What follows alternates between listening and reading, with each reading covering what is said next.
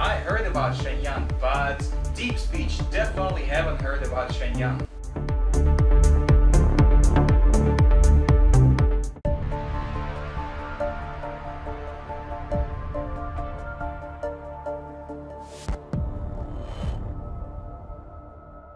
Hello and welcome to my channel, Hardware AI.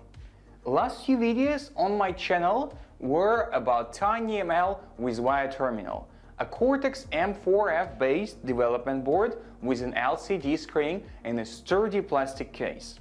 Seeed Studio, the company that made Wio Terminal, decided to take this idea a step further and recently announced ReTerminal, a Raspberry Pi 4 compute module based development board with a screen in a sturdy plastic case. I got my hands on one of these ReTerminals and going to make a brief box opening, run a few demos, and explain possible use cases for the device. Even if you don't plan on buying ReTerminal, you will find useful information that can be applied to regular Raspberry Pi 4, be it the board or compute module, particularly in the interface, machine learning inference demo section of this video. An important disclaimer, I now officially work in Seeed Studio. However, I will make this video as impartial as I can, since video making and publishing is not part of my work duties. I'm just a humble application engineer. ReTerminal is powered by Raspberry Pi 4 Compute Module 4 CM4 with quad-core Cortex-A72 CPU running at 1.5 GHz. CM4 module version used for ReTerminal has 4 GB of RAM and 32 GB of eMMC storage, which shortens boot up times and gives smoother overall user experience. Peripherals-wise, there is 5-inch IPS capacitive multi-touch screen with resolution 1280 by 720, accelerometer, real-time clock module, buzzer, 4 buttons, 4 LEDs, and a light sensor. And for connectivity, the new board has dual band 2.45 GHz Wi-Fi and Bluetooth 5.0, plus gigabit Ethernet port on the side. With the most specs out of the way, we can let ReTerminal out of the box, metaphorically speaking.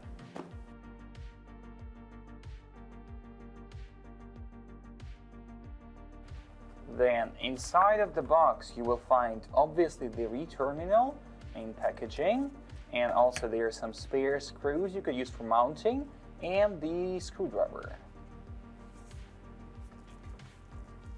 Let's unwrap it.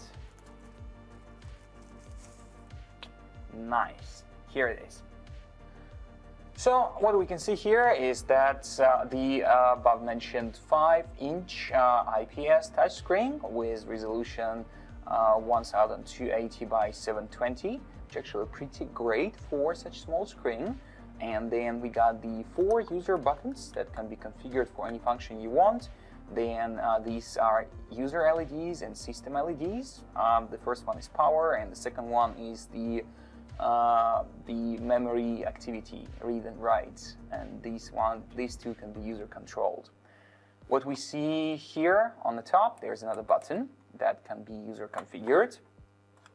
On the left, we see additional interfaces. These are two USB 3.0, one gigabit Ethernet port, uh, micro HDMI, the same type of HDMI used uh, in Raspberry Pi 4, uh, this one is capable of outputting video in 5K 60 frames per second.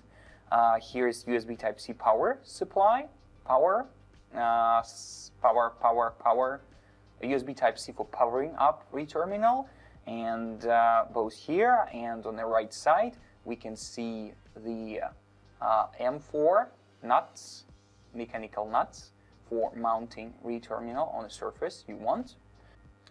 Uh, here's a radiator fin, uh, and uh, we will see later that just below it you will be you there is uh, the compute module. Um, this is uh, Raspberry Pi compatible 40 pin header, which is compatible with all the standard Raspberry Pi heads that you can find on the market. On the back, we can see a proprietary connector that has a high-speed expansion interface with PCIe one-lane host, USB 2.0 port, 28 GPIOs, and PoE.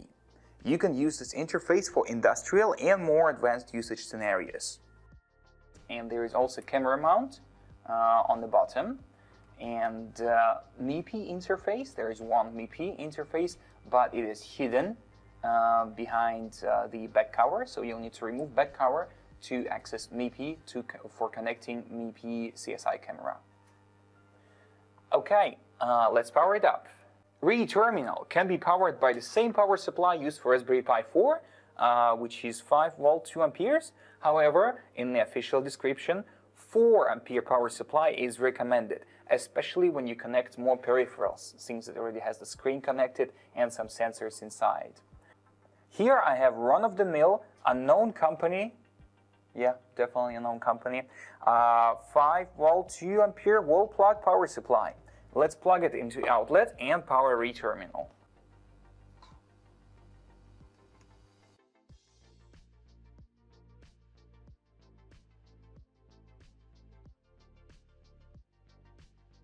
Okay, and we can see that uh, it boots to Raspberry Pi OS.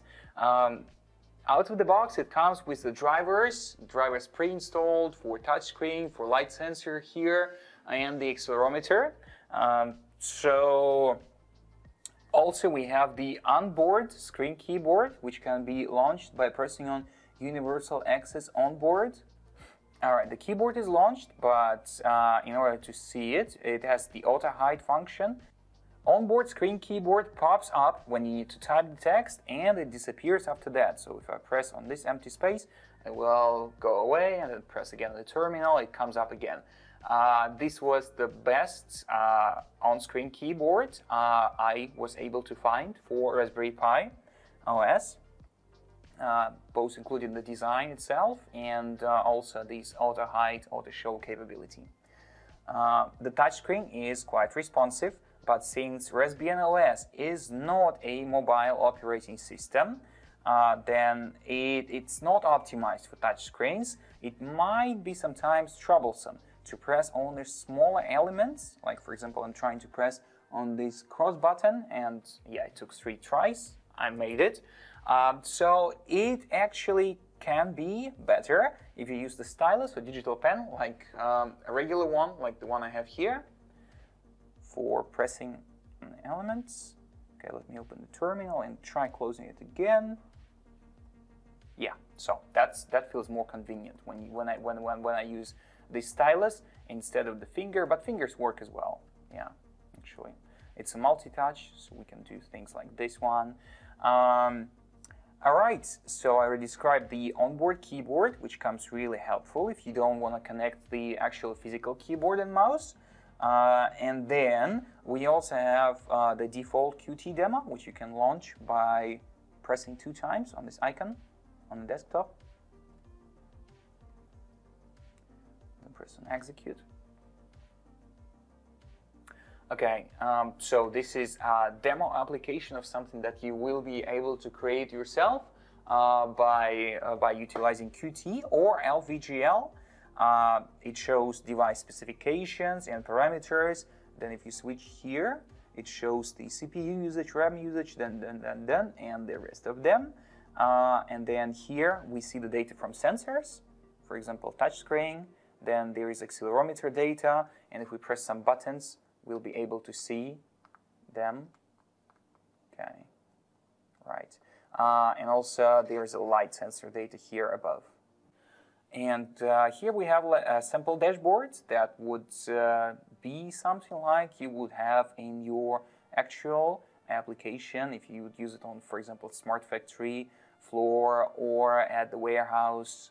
So here is basically a really simple Qt demo that shows uh, the capabilities that you can make with Qt or other framework and ReTerminal.